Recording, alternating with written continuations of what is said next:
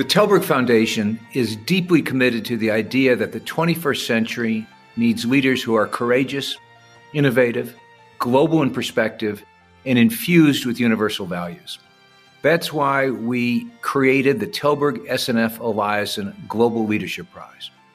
It's also why this year we established an emerging leader category, searching for leaders who have already had impact, but whose leadership is still growing and evolving our jury selected two emerging leaders Pashtana Durrani, an Afghan educator and activist working to create digital learning opportunities, especially for girls, in her war torn country, and Christian Ntizimira, a Rwandan medical doctor who has introduced and who champions palliative care in Rwanda and elsewhere in Central Africa. In this edition of New Thinking for a New World, Two 2021 jurors will discuss with the winners of our Emerging Leader Prizes their views on the challenges of global leadership today. We will start with Shahidul Alam, a Bangladeshi photographer and human rights activist, in conversation with Pashtana. Salam. Salam, salam. Uh, wonderful to see you here. The emerging category is new to us. We weren't really sure how it would turn out you are the proof of how important it is. But I'm intrigued. You know, repressive governments are the norm rather than the exception today. Here in Bangladesh, there is an environment of fear. While there are protests by students right now, the protests are difficult and dangerous to organize. Yeah. Flawed by the fact that women are in the streets of Kabul at a time like this. And we see people like you. Where does this courage come from? I think uh, in Pashto we say that uh, if you want to, like, you know, groom camels, you have to make uh, like you know doors that are like you know higher. So i think we know that the troubles that come you have to have that big heart to fight it. I guess that's the whole thing. Well you received the malala fund malala fund. Um, she too questioned the taliban and went on to question marriage, both of which she got into trouble for in various ways. But she has been remarkably silent uh, on the complicity of the West in creating many of these problems. You, on the other hand, have no such inhibitions. You remind us that there is no morality in international politics, that there is only self interest. You tell the international community to stop creating migrants if they want to stop migration. Yeah. You're very clear when you say the world did this to us. What effect do you think this award, provided by a segment of the globe you critique, will have on you? I think when I was very young, I have always been this headstrong. So I always make sure that people around me do know what I think, even if they don't ask for it. So when I was very young, my mom used to tell me, you know, you need to learn some diplomacy because uh, you cannot just uh, criticize people, you cannot just point fingers. And um, up until this award i to myself i used to think sometimes that even if i scream at the whole world nobody's going to listen or respect it. Because at the end of the day everyone has an interest. Uh, in poor people of afghanistan in starving children of afghanistan in women at home in afghanistan all of this serves an interest be it the taliban be it um, the government of afghanistan or be it the western uh, donors who were very much involved in this crisis. Uh, and then i got this award and it was all because they listened to me. And then I thought to myself, hmm, there are like-minded people and they do listen and they are not inhibited by the what the propaganda is all around the world. That uh, it's like you know black and white. There are always people who are always going to be anti but there are always going to be organizations like this one and they're going to respect your work. So i think for me this this helps me. This motiv- motivates me to be on the that i am on the right track you talk, you're a very pragmatic person and very oh, yeah. clear priorities. You talk of policing, you point out the weakness of the logic of the Taliban as well. Uh, you talk about women being sexualized. You talk about curricula, about rewriting history. What can you do at a practical level to prevent this happening? This is one thing I am always concerned about. So, when activists talk, that's very different. But when activists work the whole community stands with them. And i have seen it. It's um, god's beautiful work. Every time an activist starts working on a grassroots level everyone knows that they are not coming up with some uh, western or eastern or the taliban's uh, ideology in their mind. They're just making sure that their community survives through it. And for me that was much more important. For me pragmatism is when I talk about girls' education, I do open schools every now and then and make sure that 100 leaders are educated so that in the next 10 years, when I'm old enough, when I can't talk the loud that I can right now, there are 100 more girls who can talk on the same level and who scream even louder. So for me, pragmatism, but also practicality is important. I make sure that every course has a feminist uh, um, side to it so that when girls open books, they see themselves, they see women of color, they see women from their own own community and they look up to them, not just some men from the West who did amazing things. Um, you just referred to feminism. Uh, people tend to think that feminism was something discovered in the West, but oh, yeah. uh, uh, over a hundred years ago wrote Sultana's Dream, a feminist science fiction uh, novel that took people to a land which was run by women where the men stayed inside. And uh, that was a dream she had. What would a dream Afghanistan be for you? For me, a dream would be that girls' education is not politicized the way it is, that women uh, get to go to work. And at the end of the day, men of Afghanistan do realize that fighting for someone else's agenda within your own country doesn't serve you doesn't serve your country. That is my dream. I hope the men realize in my country that they are fighting for someone else's war. They're not fighting for their own war or their country. Well that leads on to a statement from your video where you say that's not how it works. Oh yeah. For you you continue to be an optimist despite all of that. How does it work? At the end of the day you have to realize that there will always be challenges. I have faced challenges in the past where I was in ministerial uh, meetings and I was asked uh, to leave because I told them that this solution works better.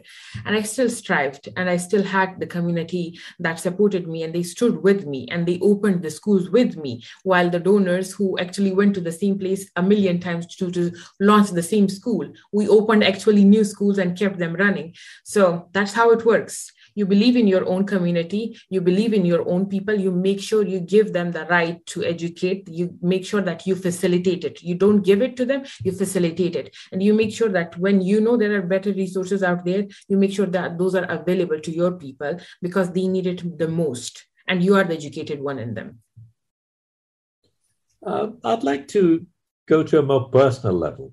Uh, surely doing what you do in the community that you're in is not easy at many levels. But what are the personal struggles you've had? What are the responses you've had that have surprised you? Uh, what have been your disappointments? Um, it's uh, I, I think I always struggle with the, the, the governments because somehow I don't know I don't fit their agendas at all. For me, it's more on like you know you don't need a lot of money to do the work. You just need the right kind of the money. And for them, it's always like you know take one picture of a child starving to death and then sell it to the whole world, take the money and then never serve the community for that. So that's one of the huge disappointments that I have faced over the course of years. Every time I talk, I people go and target target my family. People go target my community. People go target my father or mother. Even yesterday i was targeted for my mom and her uh, her roots. Um, that's a disappointment. But at the same time on community levels there were times when i met um, old men and i asked them to send their daughters to school and uh, he was like why should i send them to school? What good would they bring? This is a, a place where we don't have electricity. What can they do? And i was to myself yeah why should he send his daughter to school? And this was disappointing because i didn't have answer and i was disappointed in myself. I went back i did some research and i came back to him. I was like you know when god sent uh, in quran he said that muslims should pray right men and women. He didn't say that only men should pray. So when God asks you to pray, then why can't you just, uh, when God doesn't discriminate when it comes to praying, why are you discriminating when it comes to education? And he did let girls go to school after that. So for me, that was a big disappointment when I didn't have the answer right away because I always have answers. Well, you got there in the end. Yes. But that's something else. I mean, uh, you, of course, give importance to, you mentioned very clearly what are the things that students should, learn and that there should be women teachers of a particular level and things like that. But uh, a lot of that seemed to uh, talk about what are considered to be Western modes of learning and education. Is there a different pedagogic model? Is there a different mode of teaching that you think is needed for Afghanistan? One thing about Afghanistan people tend to forget is Afghanistan used to be the center of arts and uh, culture within the Central Asia. If you see, when it comes to feminism, people always talk about suffragettes movement, but they forget that Gawhar Shad Begum, thousands of years ago, she built the minarets of Herat, and she was the, actually the first woman who made sure that there are universities, so the whole Central Asia and MENA region can come and study there. And this is thousands of years ago. 100, 100 years ago, we had a women minister of education, while the West didn't even have the voting rights for women. So you have to understand that there is this difference. But also, when it comes to education, every Afghan house in Afghanistan has books. It starts with books. We always have books. In the West, I have seen when children start going to schools, the parents buy books for them. I am visiting these families, and when the kids are in school, they're buying stuff. But before that, they have toys. I remember every house that I have been to in Afghanistan, we have a window, and within that window, we have uh, sets and sets of books, and that is practiced after a dinner, the whole house sits together and uh, listens to the radio show, but also practices poetry, also po- practices the history, also practices the geography of Afghanistan. And that is education in itself. So we start educating ourselves when we are very young with the old tales in our families. And then that continues to the modern world that I feel like, you know, technology can serve us well and that we should be focusing on digital literacy where we don't have electricity or internet. We definitely have prob- uh, uh, solutions like offline uh, apps and at the same time solar panels that solves a lot of problems when it comes to education. The prophet's mosque uh, was very different from the type of mosques uh, yeah. encounter. It was a community center it was a health center it it was a learning place it sheltered women. Uh, it was even an art space. I i know of the Abyssinian artists who performed in the mosque. Uh, how do you see the mosque in Afghanistan playing a different role? Uh, and would they have a role in education? I think one thing you have to, we need to know about is when uh, the whole world says, oh, these people are fighting for religion they are not. They're actually oppressing religion because freedom of religion comes when the prophet in prophet's mosque the women used to go to that mosque. They used to access the learning the uh, uh, religion the praying the educational opportunities. And in our mosques in afghanistan women are not allowed to go. In my mosque i was not never allowed to go. Uh, when i started menstruating i was never allowed to go back. So there is a, dis- gender discrimination even when it comes to religion in afghanistan. The mosques are only built built for men whose uh, misogyny or his patriarchy is the only uh, driver of their egos and that's the only way place where it has made them inclusive. So the religion is very inclusive gang in afghanistan. Uh, whereas in the prophet's uh, era it was an inclusive communal learning center for the communities. Well you are a great example of what we can aspire to. So i look forward to a very different afghanistan Congratulations. Thank you. Now, listen as Gouri Mirpuri, a Singaporean social entrepreneur, discusses the challenges Christian faces as he tries to change how Rwandans and other Africans think about and deal with death. Hi, it's Dr. Hi, Gouri. Good to meet you. This is Gouri Mirpuri from a hotel room in Singapore. Dr. Christian, where are you in the world? Uh, I'm now actually in uh, in Boston uh, for just a couple of weeks, but uh, uh, I'm normally based in Rwanda, Kigali. Of course, yes. Okay, first a quick introduction. Dr. Christian Ntizimira graduated from Harvard Medical School and is today a physician and palliative care activist in Kigali, in Rwanda. And it's for his leadership in creating a unique Ubuntu based approach to death and dying that we are presenting this award today. So, Dr. Christian, I want to start right at the start. What were some of these, the pivotal points in your life that jolted you to change your mind and set you on a different path? Thank you, Gouri. Uh, I would like first to join uh, my uh, colleague, the other winners, to thank the Tällberg uh, Foundation and the jury uh, for this opportunity, and especially uh, talking about palliative care and end of life care. So, which is sometimes considered by most of people the fifth wheel of the courage in the public health system, which is not. And one of the two two main points uh, made me to be uh, fo- uh, to change and uh, and focus on palliative care. One was the um, uh, the consequence of the genocide uh, against the, the Tutsi in 1994, when I just realized that I can contribute to be a physician, but not only a general practitioner, but to be a surgeon. then I went to medical school and after medical school, I went to district hospital. And uh, when I was working in district hospital, I met a, a patient, 24 years old, who was really dying with uh, liver cancer. Uh, and the saddest story is um, his mom came to me and kneeled before me and asked if I can give something to him, then he can sleep and wake up no more. In that time, I felt that I failed twice. One as a physician, because I was feared to prescribe morphine beyond, there is so myth beyond uh, using morphine, opioid. And second, as a Rwandan, because in our culture, when an elder person kneel before a young person, culturally, you are failed. So, and then from that point, I changed from my dream to be a surgeon to a new passion to be a palliative care physician. Interesting. So the genocide, how old were you at the time? I was 16, 16 years old. That's going to have a huge impact on you. Um, mm. The talk to us about the myth of morphine. You know, your work has led to a five-fold increase in its prescription uh, in your country. What is the myth, and why did you challenge it? One of the biggest myths uh, surrounding morphine is uh, morphine hasten death.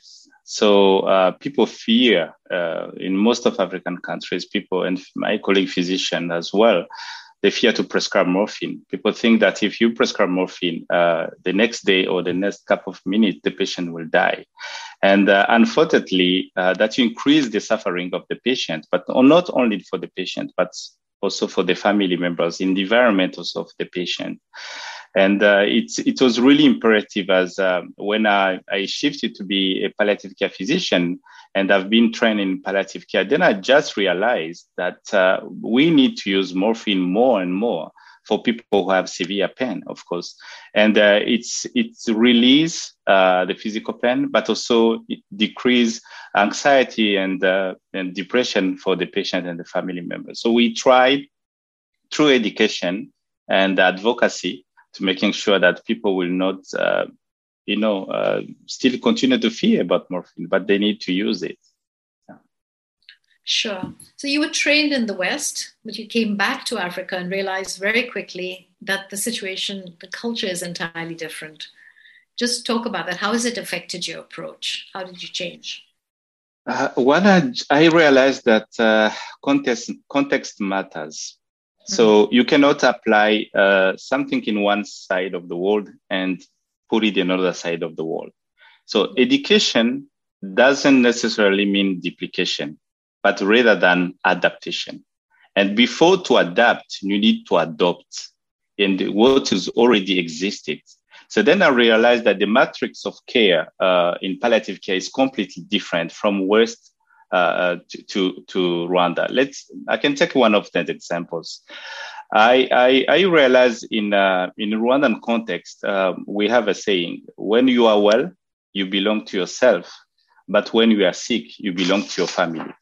So it's not about uh, the patient's autonomy will remove the community responsibility. It's both. So you will have, it's why we're using a butterfly approach which is in one wing, you have the patient autonomy about choice, expectation uh, um, from the patient.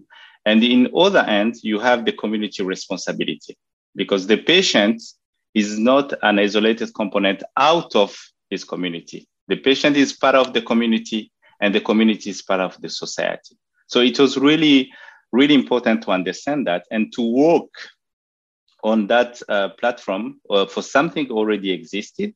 And now we can adapt to the, co- the context or the normal challenges. So it was interesting. I was listening to one of your interviews, and you said uh, patient is in hospital, and his immediate family or the family that turns up to support him can be anything between 30 people and 50 people. So, what, at a practical level, give us an example of how you would approach this in a hospital ward. How would you bring this um, sort of uh, community that he's surrounded by into the process? Yeah, one of the um, uh, let's say one of the solution uh, because as the patient is part of the community, you need also to bring the community as a support. So family members are not necessarily barriers or challenges to the support of the patient. Uh, and one of uh, the, uh, the, experiences, what you do after admitting the patient is to bring and call, of course, the family members meeting.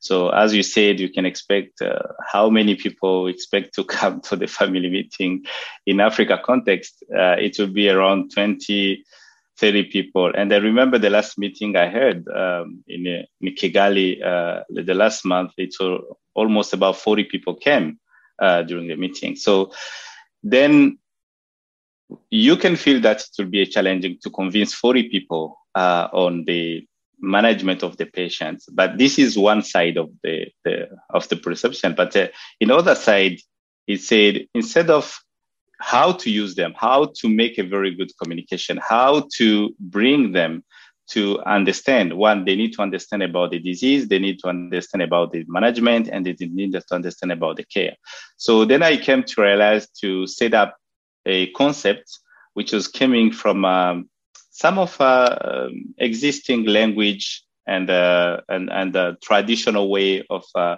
of sharing stories in, in rwanda and uh, using animals, archetypes, to describe the suffering of family members. So then from each family members, you have a different language and you have different solutions. And that was really important. And also one of the most important thing is to identify who is the lion. In every group, there is always a lion. There is always a leader. And uh, working with that leader to bring the family uh, on, on the let's on the responsibility to support the patient. And the, the good thing is, in terms of advocacy, it's really good because you talk with the 40 people in the morning and the rest of the village know what about palliative care, which is really good. I'll jump to my last question since death is not a taboo word in your world. But let's talk about your obituary.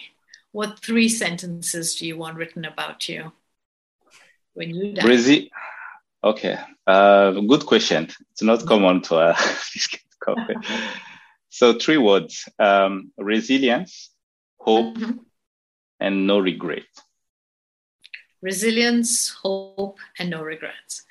Yeah. And uh, are these the three things that keep you going as a leader in, in the work that you're doing on a day to day basis?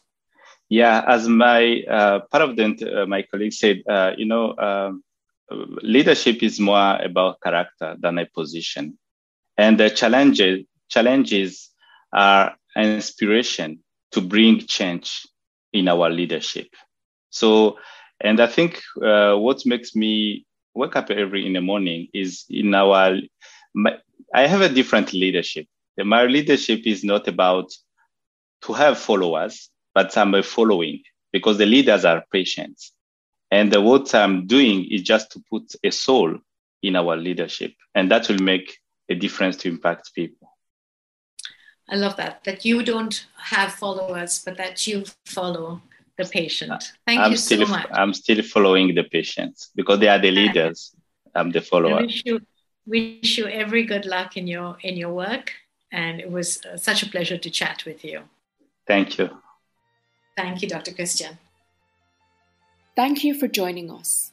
Please rate our show on Apple Podcast and subscribe. Meanwhile, you can find us on Facebook, Twitter, and Instagram.